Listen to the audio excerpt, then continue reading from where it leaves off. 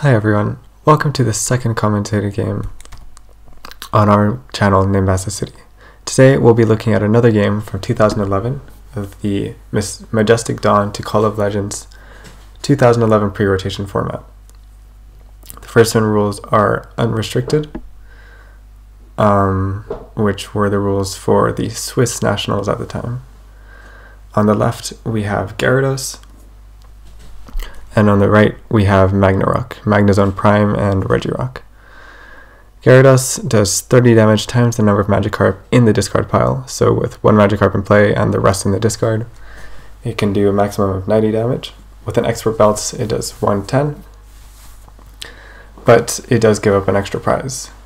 And the way you cycle it is using Rescue Energy or Pokemon Rescue and other sort of recovery cards and Broken Time Space to evolve immediately. It's a very um, it's a very fast deck. It uses a lot of Uxie, Junk Arm uh, communication to set up real fast.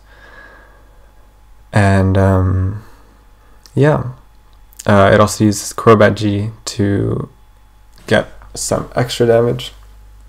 Mesprit to block abilities, well, Poke Powers, which are very relevant in this matchup and um, yeah, um, that's about it.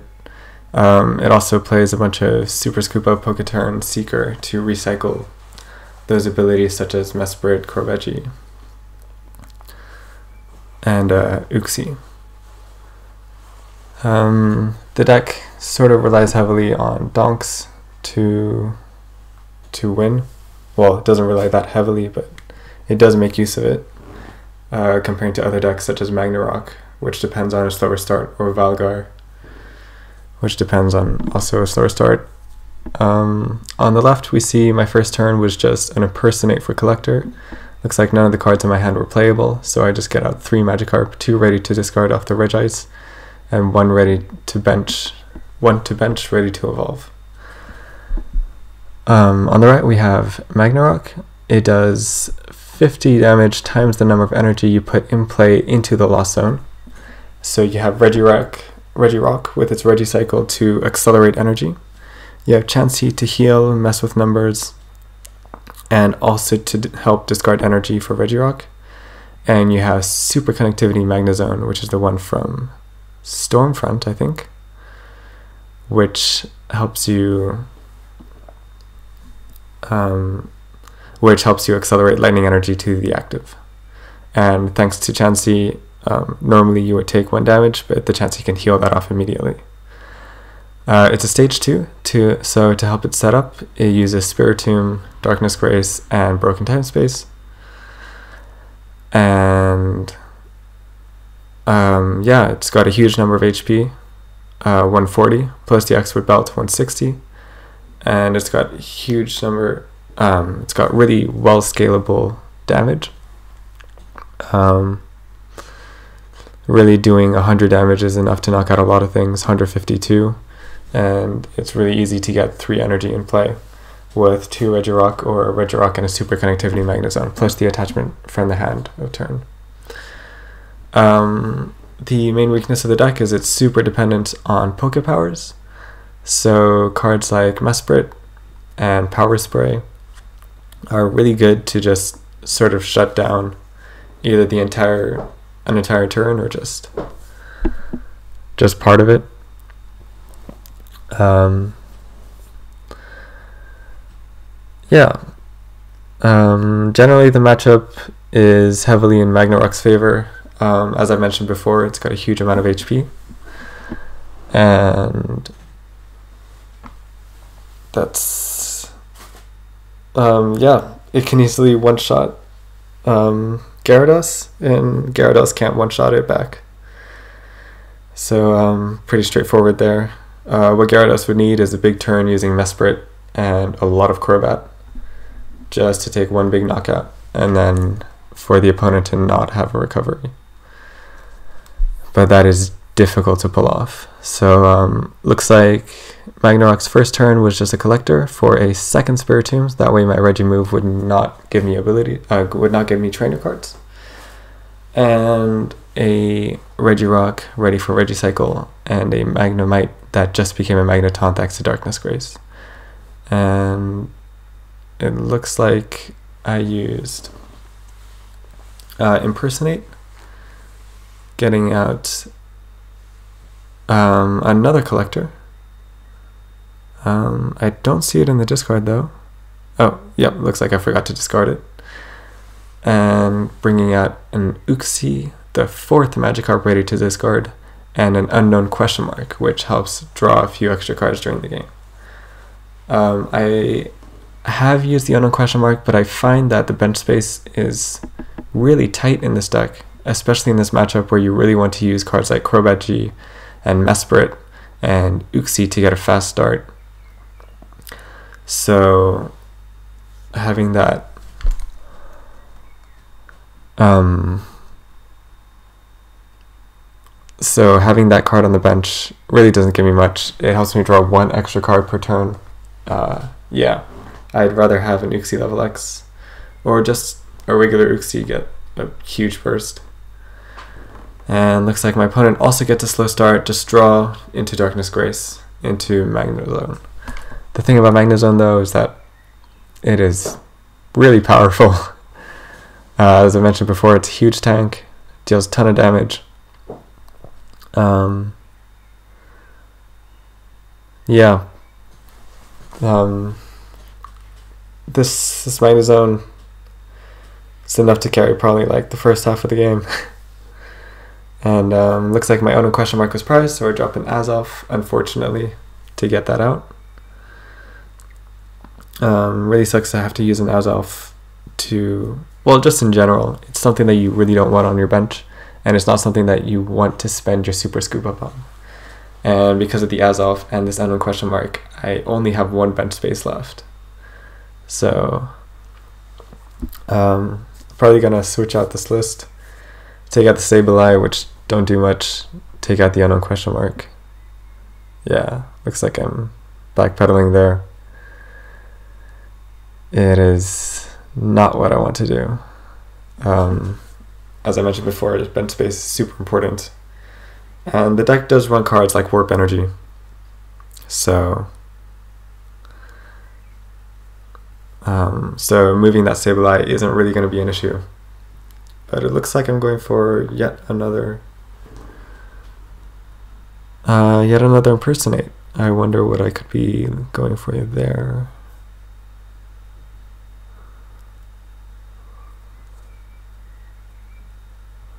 Looks like a baby search. Um, my hand seems to be quite large, so getting out an Uxie, not really what I'd want to do. Uh, maybe getting out a Mesprit. That way I could get a Mesprit into attack. Um, but my opponent, C, definitely has an energy in hand. Definitely can return that KO. So, not sure if um, taking an attack right there is worth it.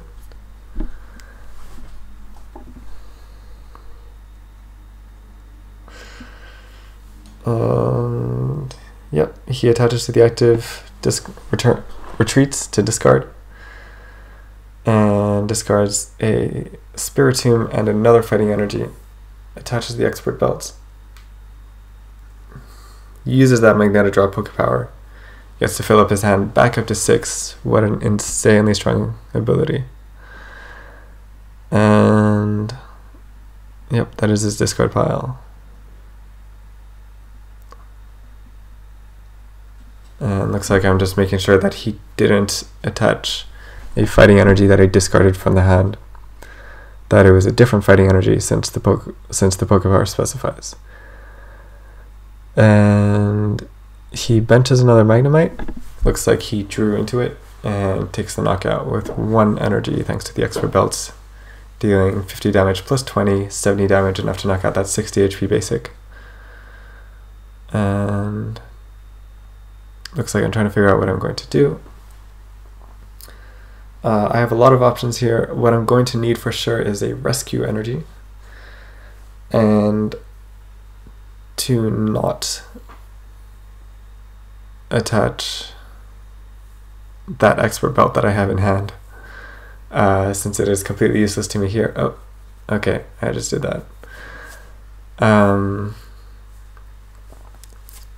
by by attaching that, I'm giving him two free prizes, and the prize trade could go I attack twice, he attacks once, sort of like a non EX versus EX prize trade. And then I try to win the game through taking one big knockout, but uh, a one hit large knockout. And it looks like I'm playing a luxury ball, getting out that Mesprit. And looks like I'm going to try to block abilities, uh, force him to attach another energy from the hand and lost zone all the energy that he attaches. And then that way I might have a chance to come back. Looks like I'm using that unknown question marks Poke Power. Just going through my discard, seeing what I have. And it's a Combee, so definitely not what he guessed. Um, yeah. The idea of the card is that you run like five or six different types uh, between Psychic, Water, and Metal with Dialga level X, Dialga G level X, Combee, um, Sableye, and then your opponent will never guess the right type. But it's yeah, like I said earlier, you draw only one one extra card. It's not amazing, and looks like he is, as I predicted, going to Zone. Oh, only two energy, two energy. Does that? Yeah, that takes the knockout. Um, yeah, like I said earlier, it was not a good play because he would have to zone that energy. He would have to zone two energy anyway without the expert belts. So expert belts and expert belts, thanks to weakness, it the prize trade is in his favor. So I should have just attacked for 90.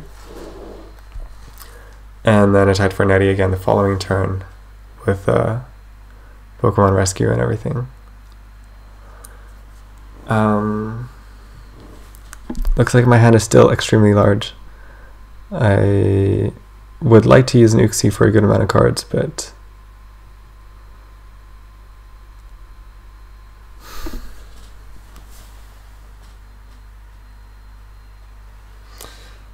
but no, uh, I just have too many cards in hand. And I use that unknown question marks Poke Power once more, but I don't know how I'm going to recover from this if I do take the attack, then I'm going to have to drop a Broken Time Space, which lets him set up a return KO. And if not, then my opponent will just get to take one more knockout. So it looks like I'm going for that Azelf, gonna get that probably unknown question mark out if I had the Broken Time Space in hand. Yeah, there it is. That way I get to retreat and take the attack and just attack. But um, that rescue energy is really getting in the way.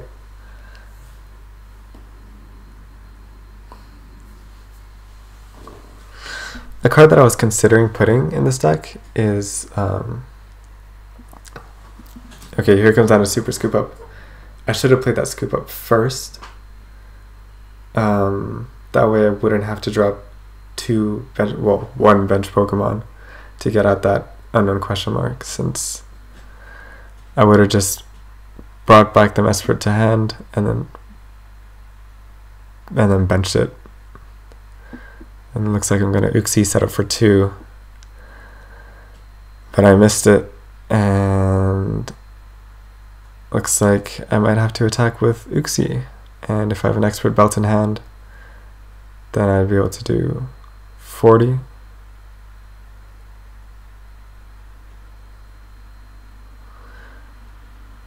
But uh, again, no bench space to.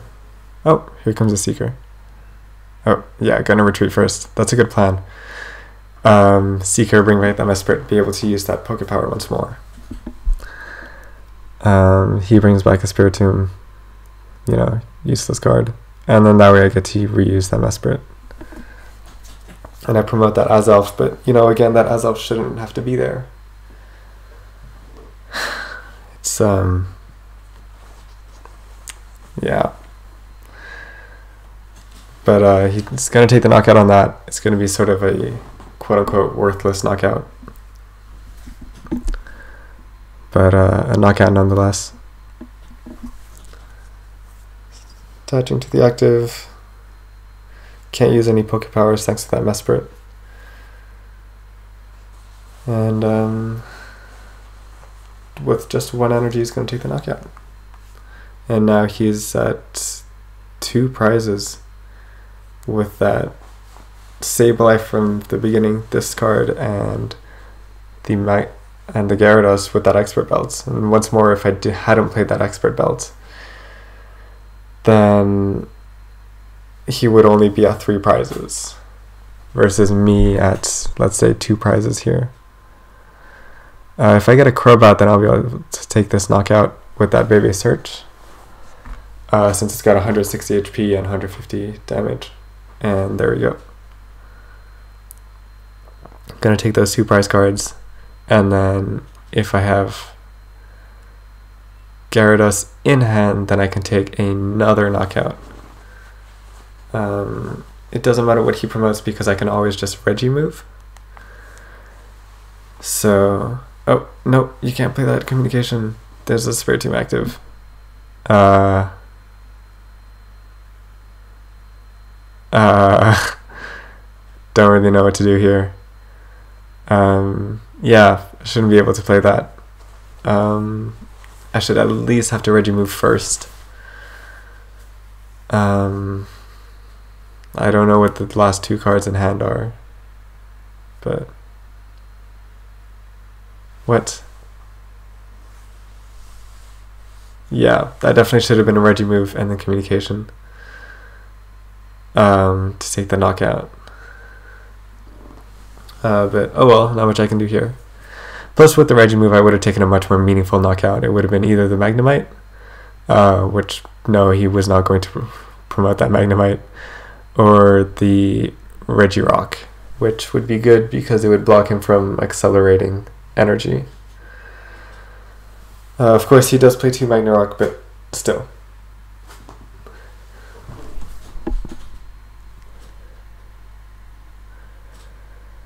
And it looks like he's trying to figure out what to do. Uh, sort of all the cards in his hand strewn about on the table. Um, if he has candy, he can just candy into Magnezone immediately. Um, and it looks like he has broken time space and super connectivity Magnezone in hand. So, it's gonna attach.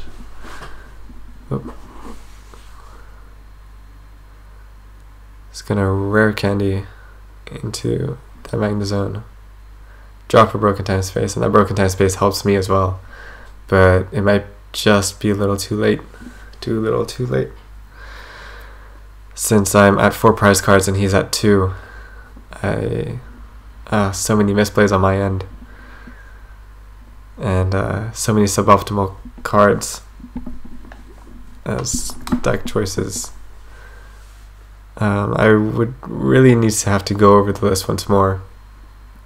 Um, yeah. Get some more aggressive draw.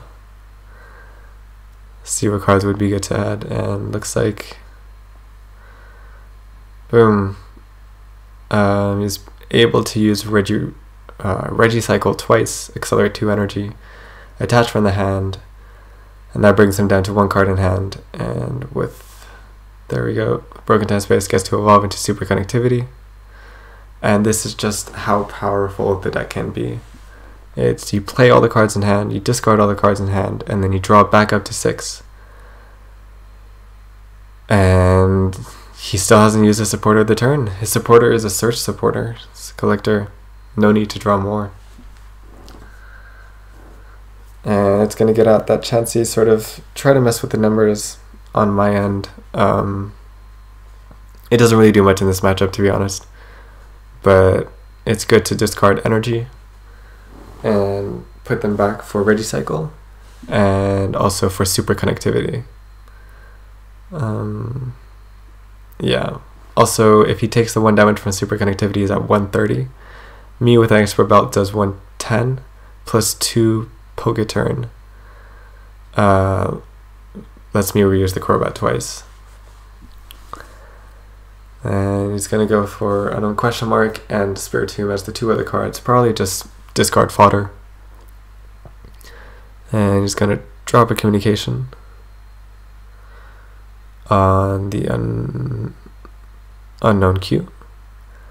And he's probably gonna get out of Blissey here. Yep. Thanks to their broken time space. Just gets to evolve right immediately. And you know, his plan of attack now is just super connectivity and nurse call to heal that 10 off. And then attack. And he only needs to discard 2 energy, lost zone 2 energy, which he can just from the bench.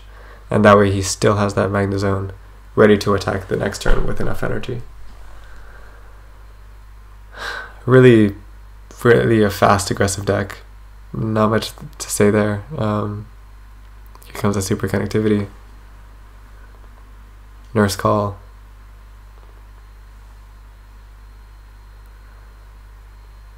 And takes the knockout with those two energy. And I promote Crobat. It's got free retreat. Broken time space is in play. Oh, top deck that. Rescue energy, one turn too late. But the deck does play a ton of ways to recycle cards recycle Pokemon, there's only two Gyarados in the discard, if I'm not mistaken. So with one Rescue Energy and then something like a Luxury Ball or Communication or Baby Search would be able to get back that Gyarados.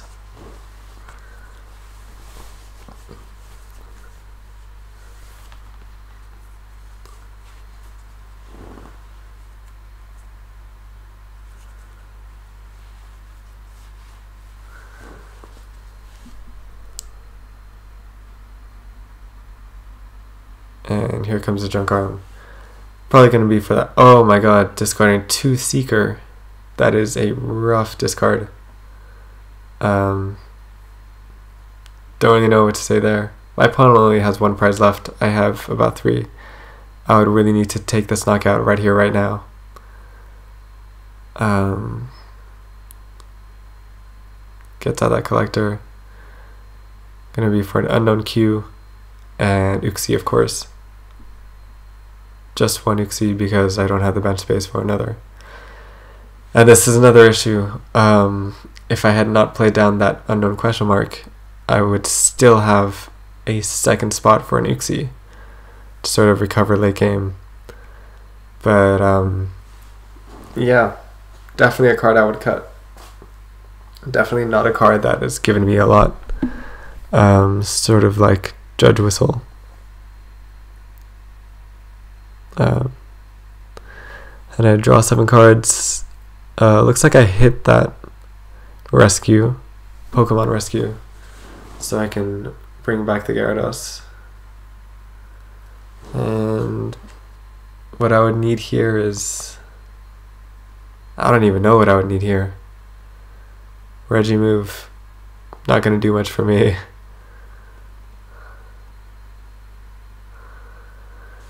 gonna discard those two broken time space and I mean he's probably just gonna put up really anything doesn't really matter because he can just attach and take the return KO on the following turn. Um, he definitely still has energy in the deck since uh, I mean I'm pretty sure I've seen an energy in his hand too. So yeah, the game is pretty much over at this point. Not much I can do. Uh, looks like I'm pondering over what my options are. But uh, regardless of what I do, there's just gonna be return KO, take that last prize card. So I use a Regimove.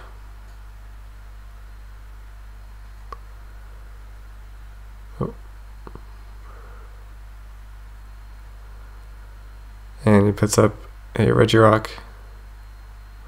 Retreat. It's got 90 HP, perfect for the knockout. And do I attach this expert belt? I think I would. If he only has one prize card, then for sure. Um, if he has two, then yeah, there we go. And take the knockout. Take that one prize card. And I'm not sure if he does have the energy in hand. He definitely has no energy in the discard. But, um, yeah, there we go. Lost on three energy, take the knockout. And that's basically how the matchup goes down. Um, sorry for all those misplays. Still, uh, I'm not a veteran of this format. Or anything, and my opponent definitely is. But, um, yeah, that is how the deck goes down. I hope you enjoyed that. Please uh, subscribe, comment on how you think that I could do better, any improvements I can make, and uh, like if you liked it, dislike if you didn't. And thank you. I'll see you next time.